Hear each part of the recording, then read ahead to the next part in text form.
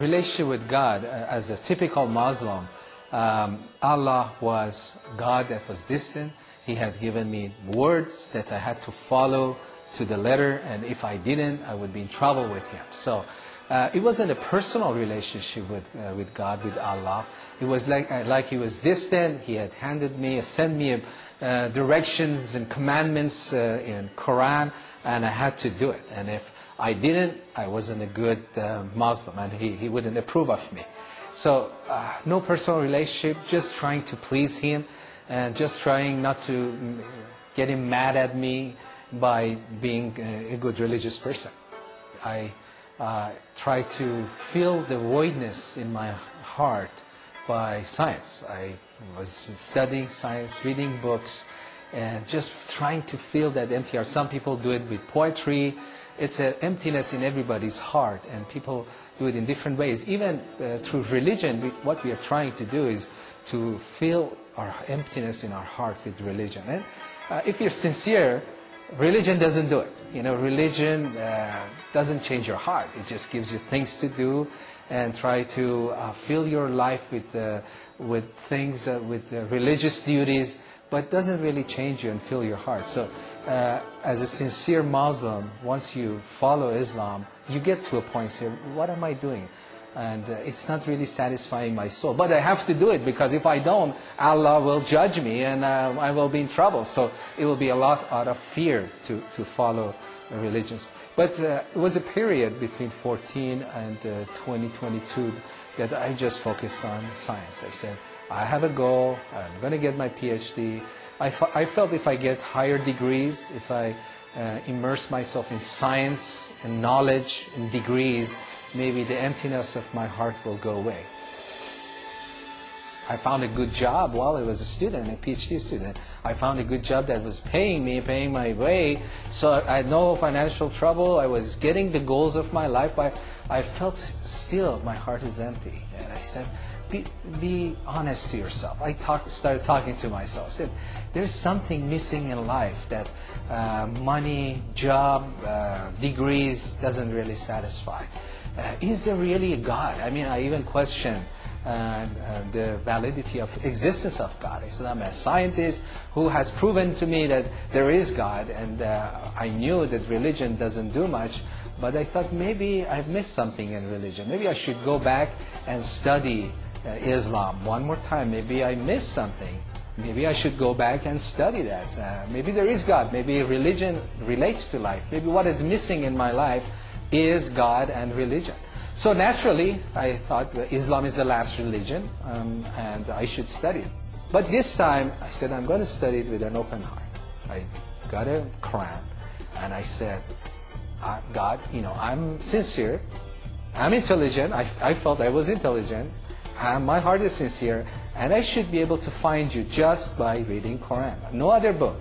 Other books maybe men have written, but they say this book God has written. So I started reading Quran in a new way, in a very open-minded way, searching sincerely for God. If God, you're in this, I will give all my life to you. I almost finished the Quran, and as I was finishing, I said, well, I got some more knowledge of who God is and what, what Quran says about God. But my heart's still empty. I mean, I, what is this? I, my knowledge, my head knowledge increases, my heart's still empty. And I told myself, well, get used to it almost, you know. Life is empty. Everybody goes through life empty. Religious, non-religious, this is it. I said, I'm done with the research. But something happened in my heart. Uh, every day I would get up, say, I'm done. God does not relate to life. But something in my heart uh, was telling me, you think you're a good researcher? What kind of researcher are you? You just studied one book, one religion, and you make your final decision. Researchers don't do that. You, you have to study several things, several books, and then you make your final decision. So just out of my own pride saying, uh, well, maybe I should study other books and uh, read the Bible. And so if people ask me, I can proudly say, well, I've studied them all, you know, I know all of them. And uh, God does not relate to our daily life. So I got the Bible and I read some of the Old Testament and then jumped to the New Testament to the book of Matthew. And I said, I, I don't think I'm going to find anything new in, in the Bible. Because Quran is the most complete book. This is just subset of it. Uh, but as I was reading uh, book of uh, Matthew, I encountered this man called Jesus who didn't look like any other man. I thought, here is a prophet Jesus, and he just like Muhammad. I mean, he's just all the same. They all came to tell people to be good and to follow God. But he didn't fit the profile of a prophet I had in mind.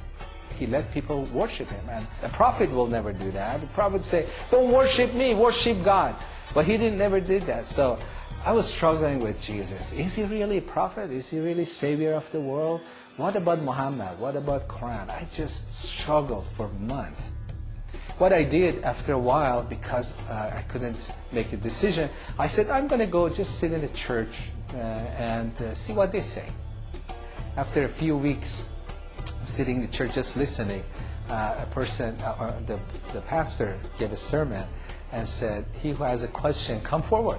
If you have a question, just ask me.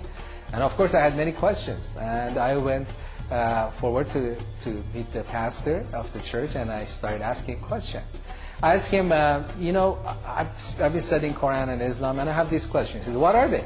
I said, is Muhammad the, the prophet of God? He thought for a few seconds. He said, well, uh, what's your next question? He said, is uh, Quran the word of God? He said, well, uh, what's your next question? How about my grandma? She is a very sincere Muslim does Christianity teach that she goes to hell? He, he thought and he says, well, what's your next question? I mean, he asked, he let me uh, ask all my questions. He didn't answer. At the end, he said, you know what? Um, I do not know the answers to your questions. But I know one thing.